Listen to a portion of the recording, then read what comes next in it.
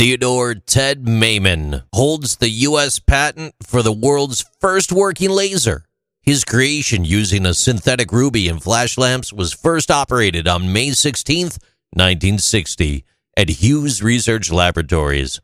One of his breakthroughs was the use of artificial rubies as the active medium. Others had judged that rubies did not work, and they were trying various gases.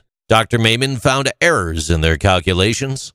He also used pulses of light to excite atoms in the ruby. The laser thus produced only short flashes of light rather than a continuous wave, but because so much energy was released so fast, it provided considerably more power than in past experiments. Dr. Maiman earned his master's degree in electrical engineering and his PhD in physics at Stanford. He had a rare blend of advanced training in physics and engineering combined with significant laboratory experience. The design of Maiman's laser was simple, and it cost Hughes Research just $50,000 to produce. The development of the laser can be traced to Albert Einstein's concept of stimulated emission of radiation, which he put forth in a paper delivered in 1916 but it was a paper on laser theory published in 1958 by two physicists, Charles Townes and Arthur Schawlow, that spurred the race to build the first working laser. Huge government grants, primarily from the Pentagon's Defense Advanced Research Projects Agency, were poured into corporate laboratories and public and private universities across the United States in effort of funding the project.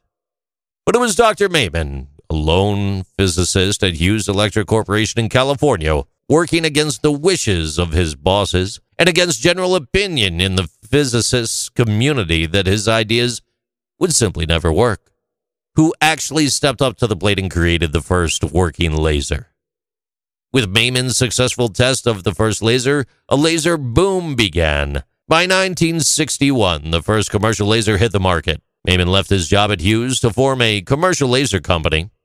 Lasers, which have now become ubiquitous in the years since the first one, are machines that amplify light waves of atoms that have been stimulated to radiate and then shoot them out as fast and as narrow and intense beams of light as possible. Today, the laser has a remarkable array of uses from surgery to shopping. They're used to read CDs and barcodes guide missiles, remove ulcers, fabricate steel, precisely measure the distance from Earth to the moon, record ultra defined images of brain tissue, and entertain people in light shows at EDM concerts like Ultra in Miami, where you lose your mind for multiple days on end and you might get blinded by a laser in the eye or two. Dr. Maiman was twice nominated for the Nobel Prize, and he won many other awards, including the Japan Prize and the Wolf Prize in Physics. He was inducted into the National Inventors Hall of Fame in 1984, and he published the story of his discovery of the laser in The Laser Odyssey. Theodore Ted Maiman died on the 5th of May in Vancouver, British Columbia, at the age of 79 years old. These are interesting things with JC.